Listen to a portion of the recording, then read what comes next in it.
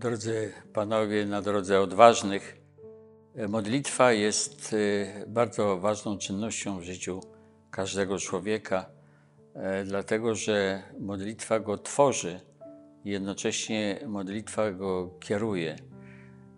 Jeśli chodzi o naszą modlitwę ludzi ochrzczonych i członków Kościoła, jest to bardzo podstawowy nurt, który wskazuje nam drogę życiową, dlatego że modlitwa w zasadzie jest dialogiem.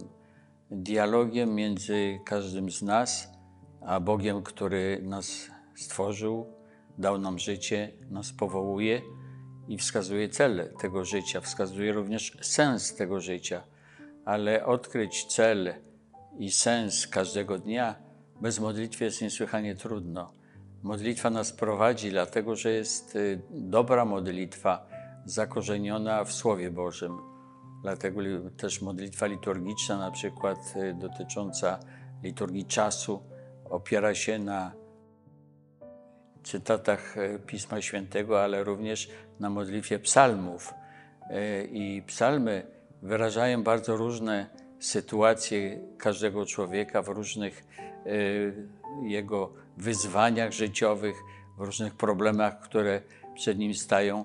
W psalmach y, znajdujemy y, często echo naszego życia. I Bóg do nas przemawia psalmami, Bóg do nas przemawia y, tekstami natchnionymi. Przecież Pan Jezus też cytował Pismo Święte, Pan Jezus też się modlił psalmami, jak wiemy. I to jest jeden wymiar modlitwy. Inny wymiar modlitwy to jest kontemplacja, to jest y, wejście w rzeczywistość Bożą, która się nam ukazuje i zatrzymanie się na tej rzeczywistości i również taka milcząca modlitwa pogłębienia, zrozumienia, czekamy na światło, które nam się pojawia w pewnym momencie. Modlitwa mężczyzny jest inna od modlitwy kobiety, dlatego że można porównać na przykład modlitwę świętego Pawła jako typowo męską, e, z modlitwą świętej Teresy od Dzieciątka Jezus, typowo żeńską. A więc y, czym one się różnią? Różnią się afektywnością. W modlitwie kobiety afektywności jest bez porównania więcej. U nas jest więcej racjonalizowania, myślenia, mm, jednocześnie y, takiego spojrzenia y, bardziej związanego z konkretnym czynem, E, bardziej mm, logicznie ustawionego. E, z czego to wynika? Z tego, że e, mimo iż mamy to samo człowieczeństwo, tę samą ludzką naturę, jednak objawienie tej natury u mężczyzny jest zupełnie inne niż u kobiety. I problem, jaki dzisiaj mamy, to jest ciągle poszukiwanie właściwego wyrazu męskości bo psychologia mężczyzny jest swoista, również jego sposób mówienia i działania jest różny. Y, na ogół mężczyźni mówią mniej, y, wiele rzeczy w sobie kryją, mają większe trudności wypowiadania się o sobie samych. I wreszcie stoimy wobec bardzo trudnego wyzwania, jakim jest kryzys męskości. O tym też wiemy. Mm, który też może nas dopaść, gdy szukamy właściwej modlitwy. Moją modlitwą ulubioną to jest modlitwa liturgiczna. E, I ja na co dzień żyję Słowem Bożym, które mnie inspiruje.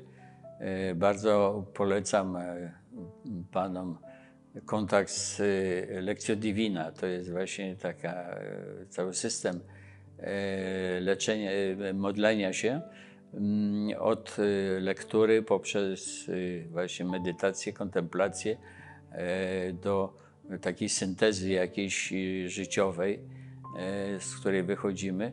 I ja się codziennie oddaję tej lekcji divina. To jest e, Boża lekcja, można by przetłumaczyć. Mm, I uważam, że to jest bardzo męskie podejście, ponieważ to też mężczyźni zdefiniowali, e, a zwłaszcza były żołnierz i rycerz e, święty Ignacy Loyola. A więc e, bardzo się łatwo odnajdziemy w lekcji Divina. Niech y, modlitwa Kościoła, modlitwa liturgiczna będzie dla nas takim modelem, z którego wychodzimy do naszej modlitwy osobistej, do modlitwy y, medytacji, kontemplacji mm, i takiego często bezsłownego dialogu z Bogiem. My nie musimy Pana Boga o wszystkim informować, bo On o naszych y, sprawach wie więcej niż my sami.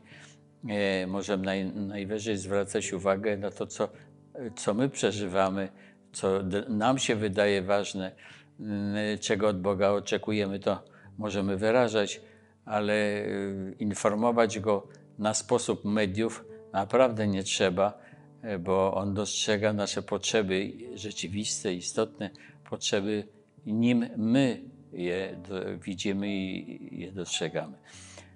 Modlitwa to jest relacja e, zaufania. Jezu, ufam Tobie, wyraża właśnie taką relację zaufania.